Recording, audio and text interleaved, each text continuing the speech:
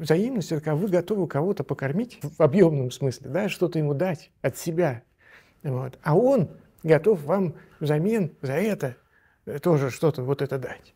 И вы живете в этом постоянном цикле обмена. В этом случае это отношения. А когда мы говорим, я хочу, чтобы меня принимали, меня любили, мне вот дали то, мне дали это, вот, получается Марфуша из сказки про Морозко, понимаете? Вот. Нет отдачи. Вот. И э, так вы никогда не построите отношения. И, и, но вот здесь вот риск всегда, понимаете? Мы рискуем, когда мы даем. Да?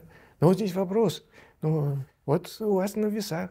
Вы хотите быть счастливы, или вы, вот, вы рискуете тем, что вы сейчас э, кому-то дадите э, там, тепло, понимание, поддержку, заботу. Ну, вот. Может быть, с той стороны как бы будет не, э, несимметричный ответ. Ну, значит, не ваш человек. Ну, как бы жизнь продолжается.